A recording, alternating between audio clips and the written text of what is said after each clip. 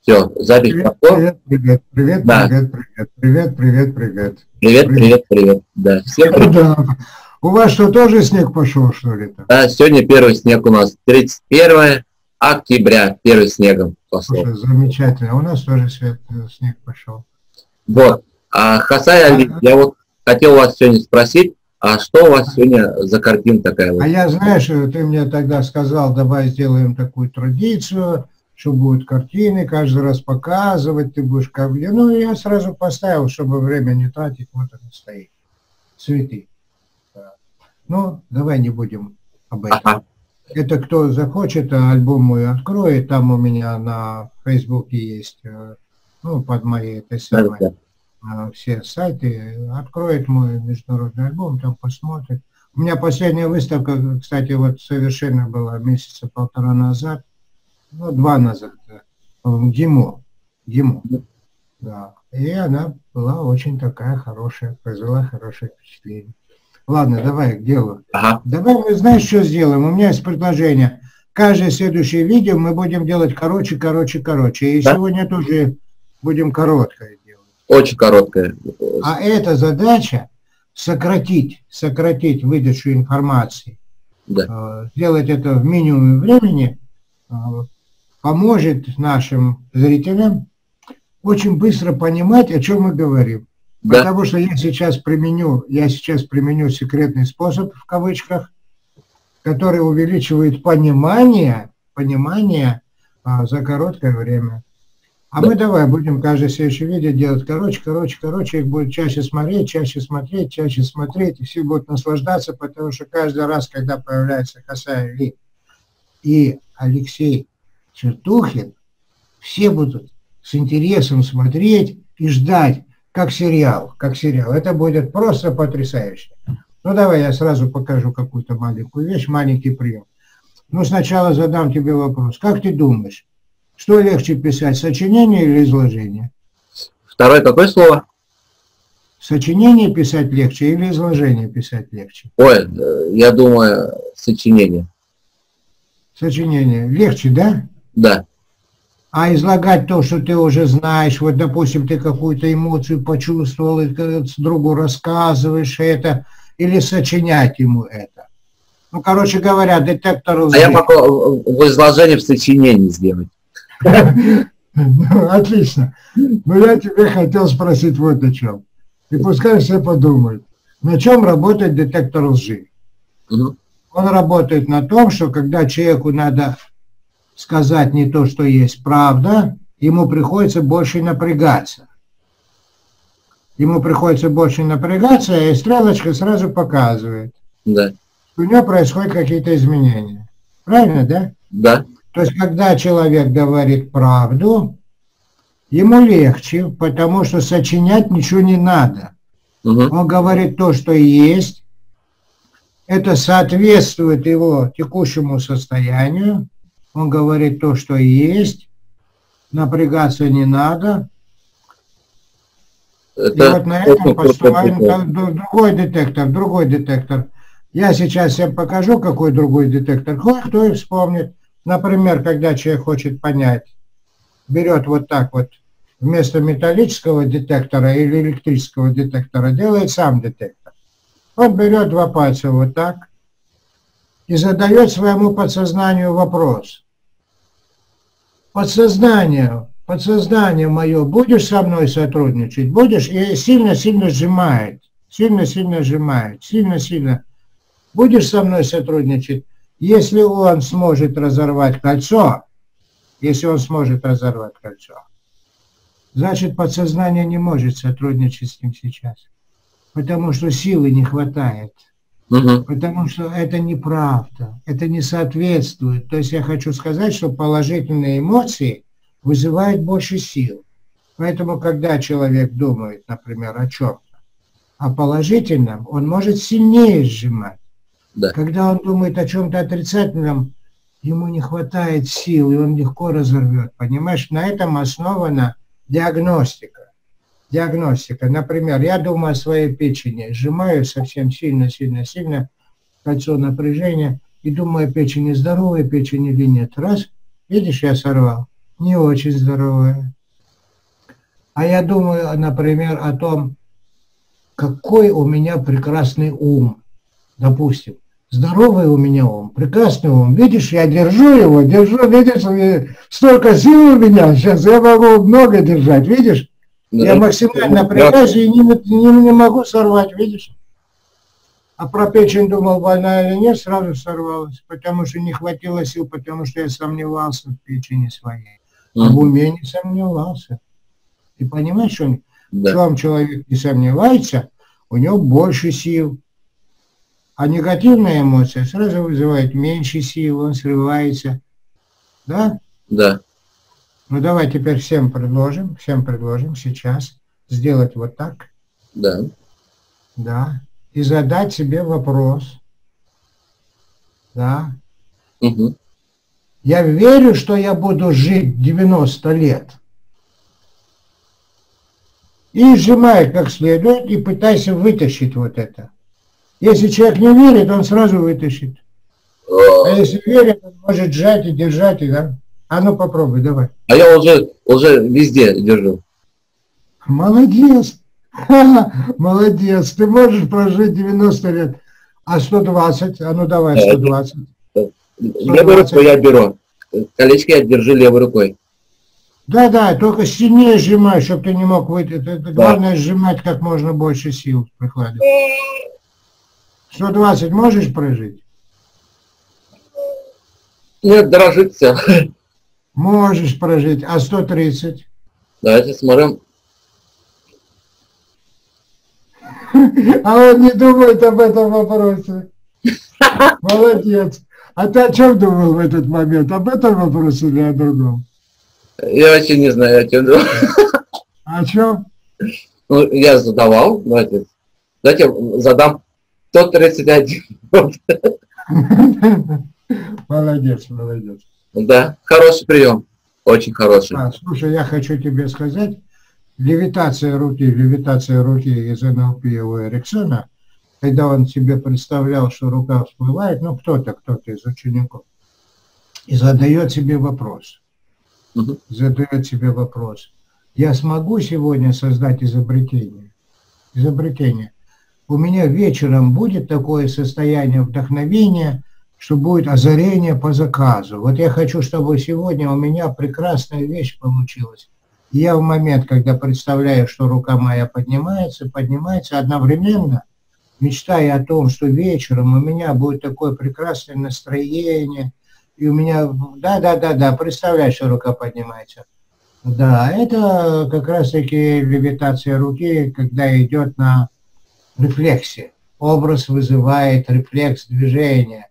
Вот, и меня начинает, она начинает создавать доминанту, и меня начинает прямо запрокидывать. И в это время, на этом фоне я мечтаю о том, что вечером создам изобретение, легко, как, как Эйнштейн, открою что-то новое, сделаю научное открытие, создам изобретение по поводу того, как мы с тобой в следующий раз проведем беседу, чтобы всем было интересно. И я в этот момент – потому что я включил идиомоторную левитацию руки, да? Угу. После того, как я делал вот это, сильно напрягался, она у меня легче пошла. Угу. То есть я просто показываю, что после упражнения напряжения легче получается идиомоторные движения. Угу. А можно, да, можно два-три раза просто отжаться от пола, и еще легче пойдет. Все равно нагрузку какую-то надо делать, да, вначале? Ну тогда, да, можно 30% людей без всякой нагрузки. Ну давай все попробуем, все попробуем держать руки вот так. Давай, держи руки вот так. Давайте. Да, держи руки вот так. И одновременно надо располовинить внимание, одновременно думать о желаемом каком-то процессе в жизни, например, а я хочу 90 лет прожить, 120 лет хочу прожить, но вначале я, допустим, не верю, но по мере того, как руки у меня начинают расходиться, да. я начинаю в это верить. То есть я могу так себя мотивировать на все, что угодно, на все, что я хочу. А я себя мотивирую, что сегодня вечером я создам изобретение. Вот я как хорошо пошло. А теперь в обратную сторону, пускай идут в обратную сторону. И одновременно создав это действие идиомоторное, Это называется идеорефлекторные приемы ключа. Ты мечтаешь, располовинил свое внимание, ты мечтаешь о том, что у тебя будет прекрасный вечер. Вначале ты даже мог об этом не верить, а потом по мере того, как идет идеорефлекторная реакция, ты начинаешь в это верить. Слушай, я уже верю, что завтра мы с тобой снова будем делать запись, и потрясающее будет озарение. Озарение по заказу можно закладывать. Вот этим мы занимаемся в школе Homo Futurus. Обучаем людей озарению по заказу, чтобы они могли мотивировать себя на то, что они хотят, убрали все препятствия, включили все ресурсы, открыли подсознательные возможности, свои таланты. Видишь, какие картины я рисую, да? Очень. А ты думаешь, чем раньше умел рисовать, я же никогда не учился. Слушай, я тебе хочу сказать одну вещь. Это не просто движение делали, это было располовиненное внимание. Одно было направлено на то, что рука пойдет, а другое на мечту. Что после этого у меня будет чудесно. Я хочу, чтобы все запомнили. Угу. Это называется параллельная деятельность. Когда ум занят одним действием и одновременно другим действием. И когда мы их соединяем, действие на то, что рука двигается, и действие, что я хочу после этого получить. Угу. Уже располовинить внимание. В этот момент она идет быстрее, и через 5-10 секунд я начинаю чувствовать то, что я хочу потом после этого иметь, я начинаю в это верить. Угу. Я начинаю в это верить, потому что у меня доминанта переключается.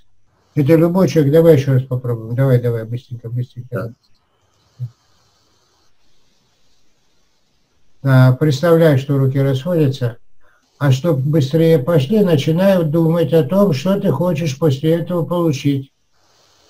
Да, да, да, да, да, ты его закрылись у тебя глаза, ты уже в транс входишь, кстати говоря. Да, да, да, автоматически уходишь. Потому что это автомат.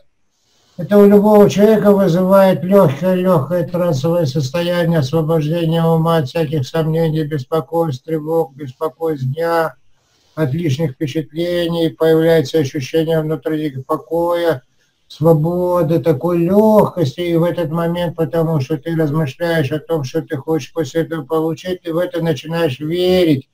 Вот так начинается исполнение желаний. И ты сам сможешь это делать, когда ты захочешь, когда какое-то желание, чтобы у тебя исполнилось. Да. А у меня, чтобы сегодня было озарение по заказу какое-то. Я сделаю сегодня изобретение, и завтра мы с тобой будем делать запись, и ты увидишь, какой потрясающий прием я изобрету до завтрашнего дня. Давайте. Да, да, удивительно. Да. Я скажу, как вообще делаются открытия у ученых. Я же наукой занимаюсь. Я тебе скажу, психологию открытия, это вообще будет потрясающе. А теперь я тебя хочу попросить. Вспомни, пожалуйста, какой-нибудь прием, который ты используешь в своей жизни для чего-то. Давай. Вот Давай. у меня вот есть один прием тоже. А, когда я вот вижу хорошие вот вещи, и я что делаю? Я же подсознательно вижу образ, то, что мне ну, нравится вещь. Эмоционально я ее тоже испытываю, то, что это мое. И я тоже принимаю ее душой тоже, телом. И вот. И что я делаю? Я вот вижу хорошую вещь и говорю, Э, разрешаю себе эту вещь? Да, разрешаю. Принимаю? Принимаю. И что я делаю потом это? Благодарностью и вдыхаю в себя это. Вдыхаю. Как будто это переживаю я ее. И получается то, что...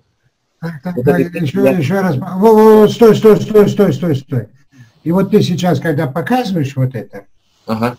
ты совершал непроизвольно те автоматические действия, которые мы сейчас делаем. Да? Да, это просто другая форма. Я поэтому говорил, метод ключ каждому из нас от природы. Просто мы им пользуемся непроизвольно. Угу. Непроизвольно. Вот ты сейчас показывал, вот ты сейчас показывал в своей жизни опыт, И, и стал невольно это делать. Вот четыре руки стал непроизвольно поднимать. Да не важно же, вот так они идут, или вот так идут, или вот так идут. А в чем интерес? А так идут, как тебе. Чем дольше я делаю, тем больше я, да, тем дольше я вдыхаю, тем больше я и переживаю. Вот это состояние. Ну, то есть проживаю. Правильно, потому что механизм мозга так работает, что мы так переживаем, и когда переживаем, и когда танцуем, и когда песни поем, и когда спать ложимся, у нас происходят какие-то процессы. Да. И если этот процесс какой-то взять в отдельности и смоделировать, например, вот это вот, угу. если любой процесс моделировать сознательно, то мы входим в легкий транс. Потому что мы взяли из целого часть, вырвали и воспроизвели. воспроизвели. И поэтому появляется легкий транс. Так его можно использовать для того, чтобы в этот момент загадывать желание. Ой, как интересно получилось. Ты хороший опыт рассказал. Ты хороший опыт рассказал и показал, да? Молодец. Спасибо да. тебе. Слушай, давай заканчиваем сегодня. Да, да. В следующий раз встретимся. Я в следующий раз обещаю наиинтереснейшую вещь показать. Да. И я тоже какой-нибудь интересный вещь. А, да, да, обязательно. Я это имел в виду, что ты тоже покажешь. Давай. Все. Обнимаю. До встречи. До встречи.